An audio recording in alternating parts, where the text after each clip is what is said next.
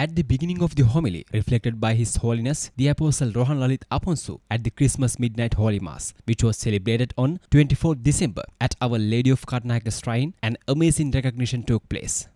Is there anyone here who is celebrating his first Christmas in his this journey of life? That means anyone who was born between 25th December 2017 and 25th December 2018. He is celebrating his first Christmas today. Is there anyone?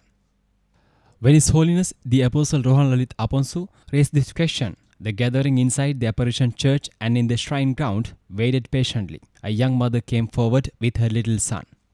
This Christmas Holy Mass was the 62nd Christmas Holy Mass of His Holiness the Apostle Rohan Lalith Aponso in his this journey of life, and it was also his 44th Christmas Holy Mass, which he celebrated as an apostle. His Holiness the Apostle looked well at this child and reflected the following.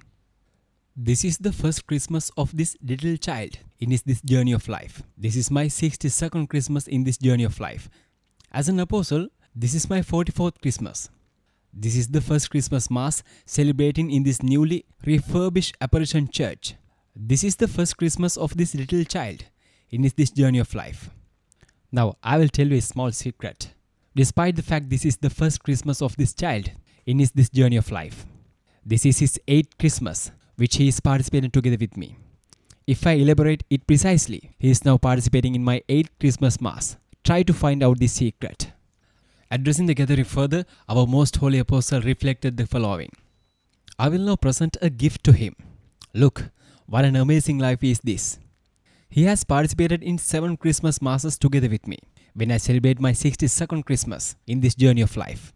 This child is celebrating his first Christmas when I celebrate my 44th Christmas Mass after I became an apostle. This child is participating in my 8th Christmas Mass. By this time, this little child was fallen asleep in the arms of his mother. His Holiness, the Apostle presented a statue of baby Jesus as a gift to the child.